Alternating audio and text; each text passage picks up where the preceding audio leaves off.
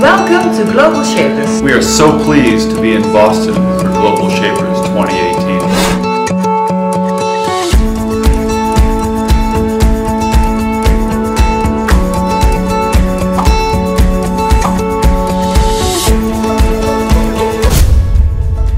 Future Cities is part of Vision 2030 and everything we do around this is powered by analytics. Team Smart Cities came up with solutions to help New Yorkers.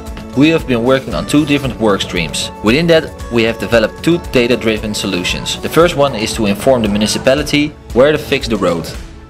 The second is to inform people from outside of New York which area fits best to their need. We are working on the Regenerative Cities workstream, which is developing transit hubs following a MODEX assessment.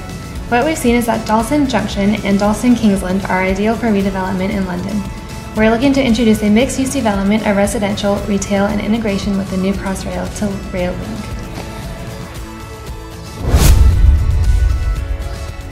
For the Resilient Workflow assignment, we're focusing on converting an area in Boston, the Fort Point Channel, into a new neighborhood and also taking into account resiliency to climate change. In Boston, in 100 years, the sea level will rise 7 feet, and this area is very vulnerable. We're focusing on four stakeholders and learning more about them by understanding their interest in this channel. We're also trying to finalize on solutions that caters to our stakeholders' interests by providing resilient solutions. We are planning a short term solution that we can implement now and a broader long term solution that can be scaled up later. Sustainable Cities Workflow is working on connecting people to city profiles that have been developed in the Sustainability Index. We are creating a quiz that people can take and find out what city they should live in. It will also give them more information about the Sustainability Index and where their city results fall within that. The Grand Finale workflow is directly targeting the grand audience as we are tasked with engaging the grand audience in an experience where they can immerse themselves in.